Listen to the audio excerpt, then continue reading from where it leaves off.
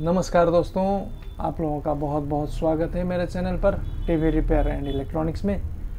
दोस्तों, आज हम दो तीन बात जानेंगे जिससे हम अपना कीमती टीवी को जल्दी ख़राब होने से बचा सकते हैं।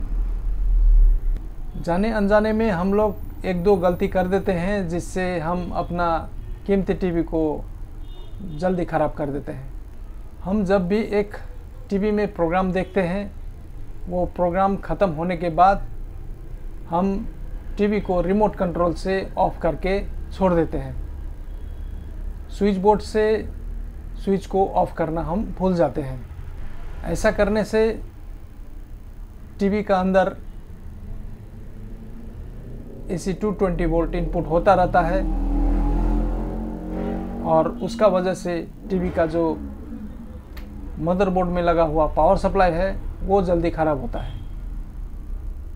और कभी कभी तो देखा गया है पावर सप्लाई का साथ में टीवी का प्रोसेसर भी ख़राब हो जाता है। तो इसीलिए हम जब भी टीवी को रिमोट कंट्रोल से ऑफ़ करते हैं तो साथ ही साथ तुरंत टीवी का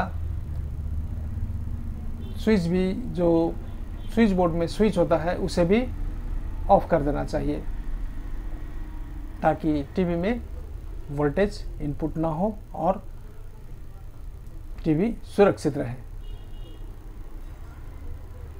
और दूसरा बात है जो हम रात में सोने जाते हैं, सोने से पहले टीवी का जो पावर प्लग है, उसे बाहर निकाल के रखना चाहिए सॉकेट से।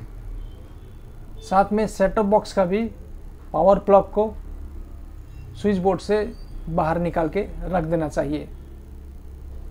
ताकि रात में आया हुआ हाई वोल्टेज यानी कि अचानक से आया हुआ हाई वोल्टेज जैसे कि थंडरिंग वज्रपात का वोल्टेज या शॉर्ट सर्किट का वोल्टेज हाई वोल्टेज आया हुआ टीवी का अंदर इनपुट ना हो और टीवी सुरक्षित रहे। और ज़्यादातर मुझे एक सवाल पूछा जाता है, क्या सर हमें स्टेबलाइज़र टीवी का साथ जोड़ के रखना चाहिए?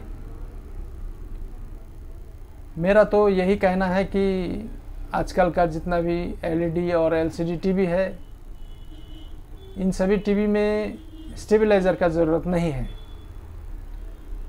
आजकल का टीवी में जो पावर सप्लाई बन के आता है वो बहुत ही अच्छा क्वालिटी का होता है। थोड़ा बहुत हाई वोल्टेज लो वोल्टेज वो टीवी का पावर सप्लाई खुद ही एडजस्ट कर लेता है। इसीलिए एलईडी एलसीडी टीवी में स्टेबलाइज़र का ज़रूरत नहीं है। हाँ अगर आप गाँव देहात में हैं, वहाँ वोल्टेज कम होता है, वहाँ पे एक स्टेबलाइज़र का ज़रूरत होता है।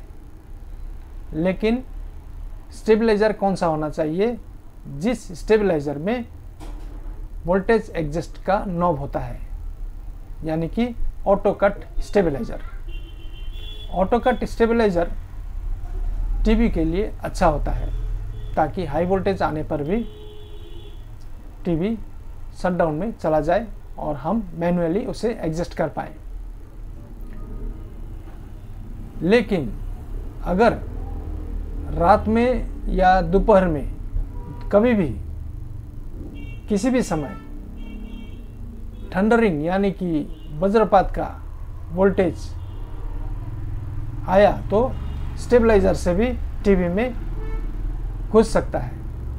तो इसीलिए हमें ध्यान में रखना चाहिए कि जब भी क्लाइमेट ख़राब हो, आपको लगे कि अब वज्रपात गिरने वाला है तो उससे पहले ही उसका बाद वज्रपात गिरने के बाद नहीं, वज्रपात गिरने से पहले ही आपको स्टेबलाइज़र का प्लग या टीवी का प्लग या सेटअप बॉक्स का प्लग बाहर में निकाल के रख देना चाहिए। ताकि कहीं से भी बाहर से टीवी में हाई वोल्टेज इनपुट ना हो और टीवी खराब ना हो। तो यही दो चार बात हमें ध्यान में रख के चलना चाहिए, तब हमारा कीमती टीवी भी ज़्यादा दिन तक चलेगा और हमारा साथ देगा। और दोस्तों, देखा गया है कि वज्रपात से पावर सप्लाई मदरबोर्ड और साथ में डिस्प्ले भी खराब होता है। इसलिए हमेशा हमें ध्यान में रखना चाहिए कि रात में सोने के वक्त और क्लाइमेट ख़राब होने के वक्त स्विच बोर्ड से प्लग को बाहर निकाल के रख दें। तभी हमारा कीमती टीवी ज़्यादा दिन तक लास्टिंग करेगा। और एक दो टिप्स हैं जो कि मैं पहले का वीडियो में आप लोगों को बता चुका हूँ जिससे आपका टीवी का डिस्प्ले और बैकलाइट कैसे जल्दी ख़राब ना हो, उसे ज़्यादा दिन तक सुरक्षित रखे, उसका भी मैंने टिप्स दे दिया है। आप लोग चाहें तो उन वीडियो को देख सकते हैं और उससे आप लोग थोड़ा बहुत आइडिया ले सकते हैं। तो दोस्तों, आज का ये छोटा सा टिप्स आप लोगों को कैसा लगा? कमेंट, लाइक और शेयर कीजिएगा।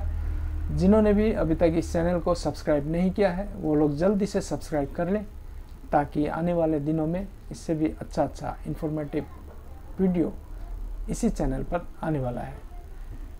तो आज के लिए इतना ही। हम फिर मिलते हैं धन्यवाद दोस्तों।